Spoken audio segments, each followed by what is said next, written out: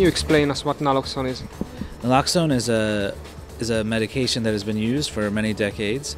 It's a it is used as an emergency antidote to reverse the symptoms of a over of an opioid overdose. Heroin goes to a center called the pons, where the respiratory center of the brain is. Heroin works at that center and depresses it, and then in overdose finally turns it off so that the brain is no longer instructing the lungs to breathe.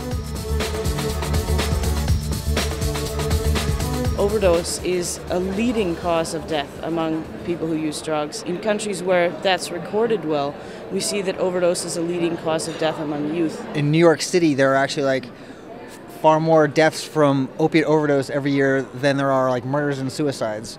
The most important thing to do for overdose is naloxone. The medication has got to be the backbone of any intervention once the overdose happens. There are two types of kits that are uh, generally used in the United States. One comes in either a one milliliter vial like this, uh, or a 10 milliliter vial, which is looks similar but bigger, and that one is administered with an intramuscular syringe. The other kind is for a nasal formulation, which can be squirted up the nose. So this is the naloxone. This is an intramuscular syringe.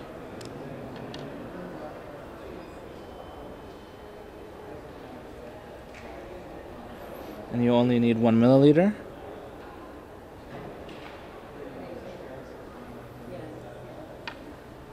And that is ready for injection into the arms, the thighs, the buttocks, anywhere there is muscle and fat tissue. The second one is a liquid that's in a glass canister, and it comes in two parts. One is this the the syringe and the naloxone, and one is what's called a is a is a nasal applicator.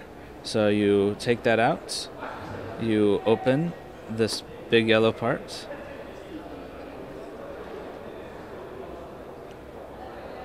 You screw it on.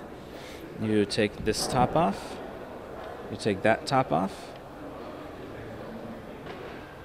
And you put it in. And uh, it's ready to go. to the nose.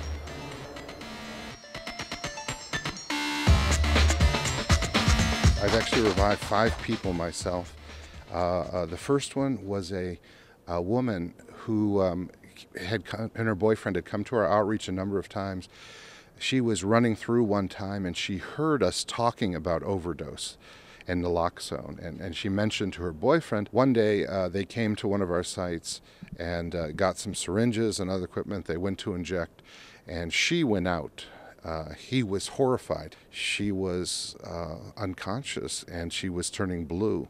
And he didn't want to bring her to the hospital for fear of the police and being charged with murder, which happens in Chicago, he drove back to our site remembering what she had said about overdose. He was crying, please help. We went to the, the car.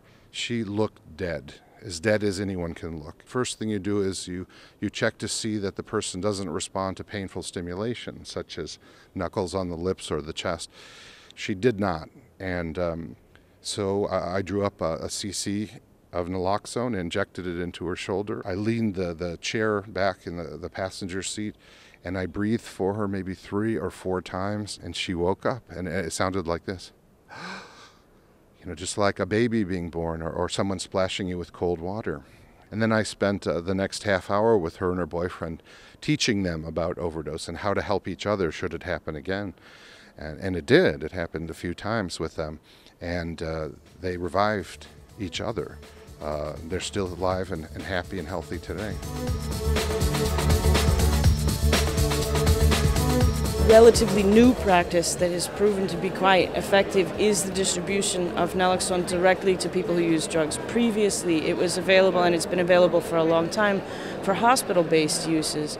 But what we see is that most of the time, when a drug overdose occurs, people are not necessarily near the place where the naloxone is available. Oftentimes, there's reluctance to call for medical help because people are afraid of police interference. What we can do by giving out naloxone to the communities, the families, the friends of people who use drugs is to make sure that the naloxone is where it needs to be when overdoses occur. A very brief kind of training, you know, 10 minutes on a street corner, and that can be enough to like give someone the, the skills to be able to save someone's life in that situation.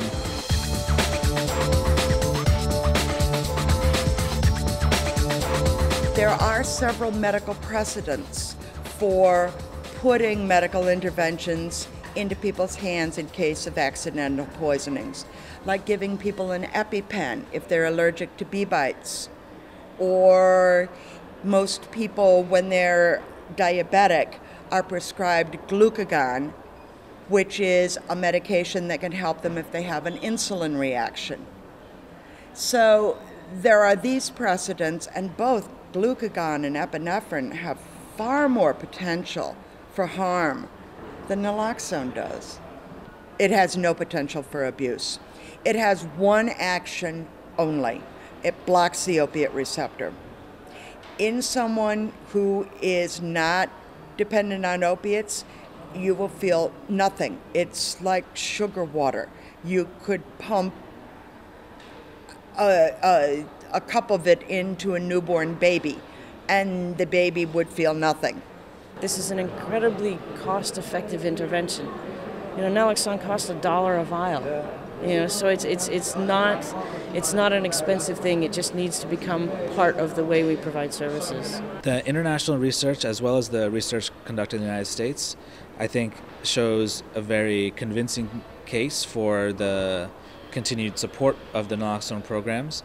There, in most programs, for every 10 uh, people that you train and give naloxone to, one person will use that naloxone to reverse an overdose. So when you talk about training 10,000 people, you're talking about saving potentially hundreds of lives. In Khorog, in Tajikistan, local NGO began to distribute naloxone uh, both among uh, communities of people who use drugs as well as uh, to emergency services. And you can see, you know, really even within the first year of their work, that they've reduced overdose death almost to zero. Whereas previously, I think they were having around 200 deaths a year. They have started a number of pilot overdose prevention programs in Russia, which work very successfully and which have shown their efficiency during the last, uh, I think, two years. Naloxone became probably one of the most popular harm reduction mm, uh, products in the cities. Drug users come first for naloxone and then to get other services such as, uh, I don't know, syringes or drug testing or whatever. We have across the board had very positive feedback from, especially from parents of children who are using drugs, where they feel empowered for the first time to have something where they can save their children's lives. Heroin addicts know that they're useless, that they're worthless, that most people think they'd be better off dead. They know that. They get told that by all sorts of people all the time. And they begin to believe it. When we give someone a bottle of naloxone, we are telling them with actions, so much better than words, here, it matters whether you live or die.